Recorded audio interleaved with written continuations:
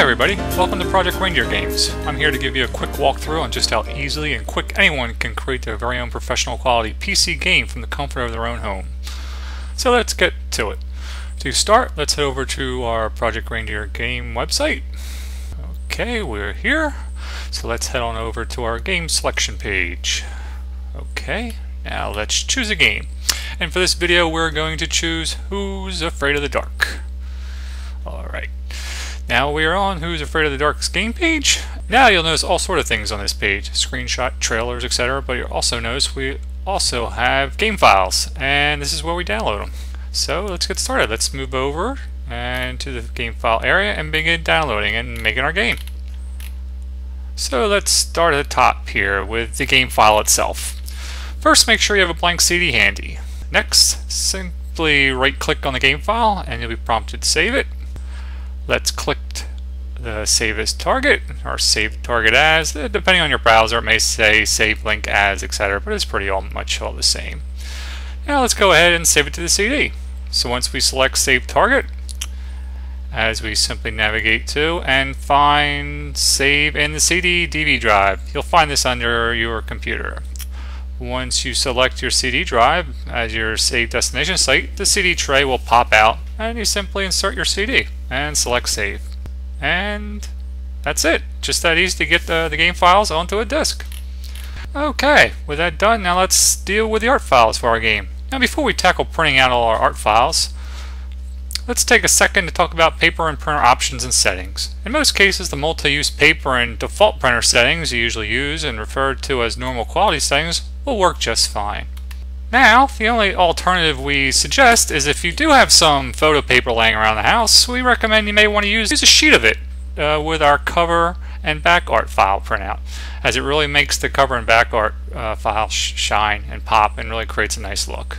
Uh, but if you only have multi-use paper, that's fine too. It it'll work for everything. Okay, so with the paper discussion out of the way, let's start printing. Let's start with the manual front. Make sure you have the paper you're going to use in the printer ready to go. And now simply left click on the file on the screen saying Game Manual Front.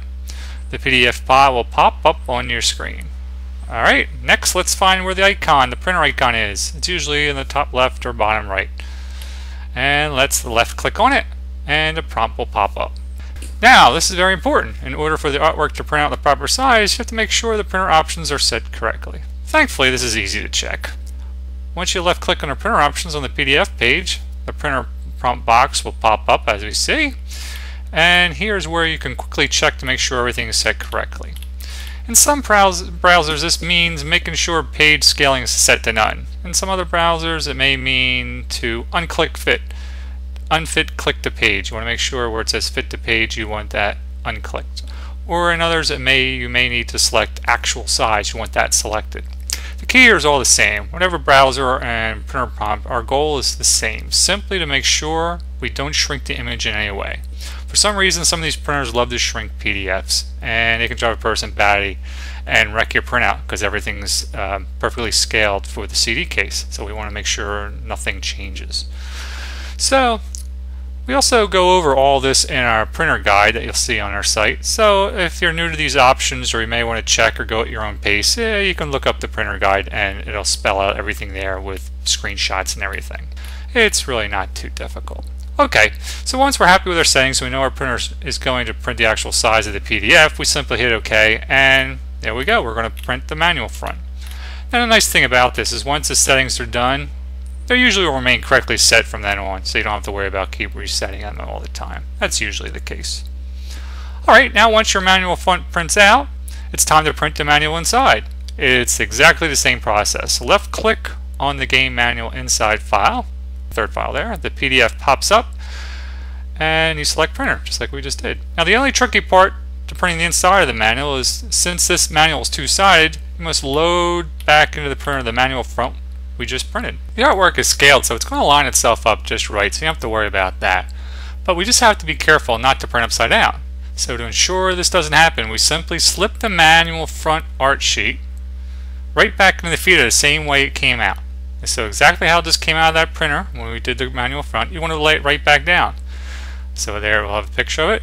Now lay it right back in the feeder the same way it came out. Now the paper will go back in and it's ready to go. Now you just hit print. And bingo, your manual is now completely printed. Once done, simply take it out of the printer and set it aside. Now it's time to move over to our game cover and back art file.